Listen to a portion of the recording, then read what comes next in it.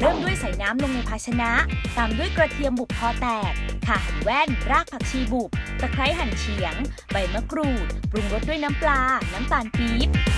และซีอิ๊วดำอเนกประสงค์ตาโลโบนำขึ้นตั้งไฟต้มจนกระทั่งเดือดนำไก่บ้านทั้งตัวลงต้มประมาณ 1 ชั่วโมง สับไก่ต้มน้ำปลาเป็นชิ้น จัดลงภาชนะสำหรับเสิร์ฟเทน้ำจิ้มข้าวมันไก่ดาโลโบลงในภาชนะสำหรับเสิร์ฟรับประทานคู่กับไก่บ้านต้มน้ำปลา เพียงแค่นี้ก็พร้อมรับประทานค่ะ กับเมนู ไก่บ้านต้มน้ำปลา เพียงแค่มีโลโบติดบ้านไว้ ไม่ว่าเมนูไหนก็เป็นไปได้ค่ะ